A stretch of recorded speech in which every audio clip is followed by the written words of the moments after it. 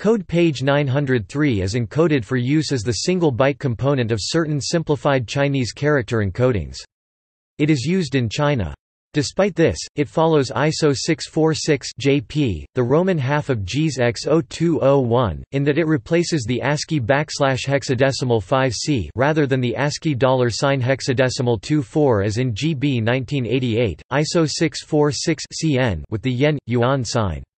It also uses the same C0 replacement graphics as code page 897. When combined with the double byte code page 928, it forms the two code sets of IBM code page 936. Topic: Code page layout.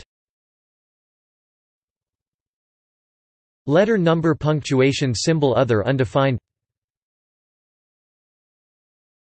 Topic: References